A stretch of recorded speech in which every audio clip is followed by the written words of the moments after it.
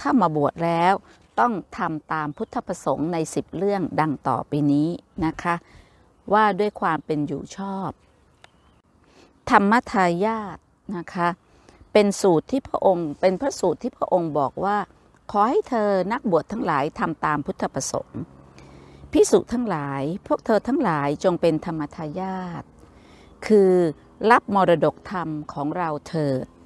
อย่าเป็นอามิสทายาท คือรับมรดกสิ่งของเลย ความที่ควรจะเป็นห่วงของเราในพวกเธอทั้งหลาย มีอยู่ว่าทำอย่างไรเสีย สาวกทั้งหลายของเราก็คงจะเป็นธรรมทายาทไม่เป็นอมิสทายาทดังนี้ คือความเป็นห่วงของพระองค์คือห่วงว่าสาวกของพระองค์เนี่ยจะเป็นอามิสอามิสทายาทคือผู้ที่รับแต่ของ แต่พระองค์อยากให้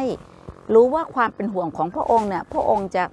ช่วยให้พวกเรารู้ว่าสำนึกของเราเราต้องเป็นธรรมทายาทพอเข้าใจนะคะเป็นผู้ที่บรรลุธรรมนั่นแหละ คือไม่ได้เสียเฉพาะเราที่เป็นสาวกสาวิกาของพระองค์ แต่ว่าไปพาดพิงถึงพระองค์ ที่จะให้คนอื่นมาตราหน้าว่าอ๋อลูกศิษย์ของท่านเนี่ยก็เป็นได้แค่อามิสทายาทโอ้อันนี้ไม่ดีแน่นะคะ ถ้าเราไม่เป็นอมิสทายาทและเป็นธรรมทายาทมันก็ดีกับตัวเรา แล้วก็ยังได้รับการก็กล่าวขวัญว่าพระศาสดาของเราเนี่ยมีธรรมทายาทอย่างพวกเราด้วย อันนี้น่ายกย่องมาก พิสุทธ์ทั้งหลาย เพราะฉะนั้นในเรื่องนี้ พวกเธอทั้งหลายจงพากันเป็นธรรมทายาทของเราเถิด อย่าได้เป็นอามิสทายาทเลย ความที่ควรจะเป็นห่วงของเราในพวกเธอทั้งหลายมีอยู่ว่าทำอย่างไรเสีย สาวกทั้งหลายของเรา พึงเป็นธรรมทายาทเถิด อย่าเป็นอมิสทายาทเลย นี่คือความห่วงใยที่พระองค์ทรงมีต่อพวกเรานะคะ ก็ทำให้เราเนี่ยรู้จักหน้าที่อมิสทายาทคือทายาทที่รับของอะนะคะ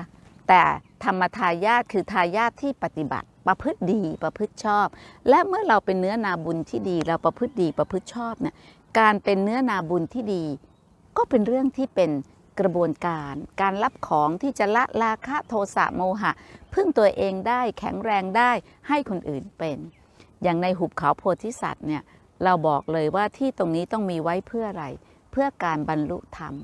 เพื่อความสงบเย็นคือการบรรลุธรรมนะลูก ความสงบเย็นคือบรรลุธรรมเนี่ยเรียกว่าสงบเย็นแล้วต้องเป็นประโยชน์ ต้องเป็นผู้ที่ช่วยเหลือและเกื้อกูล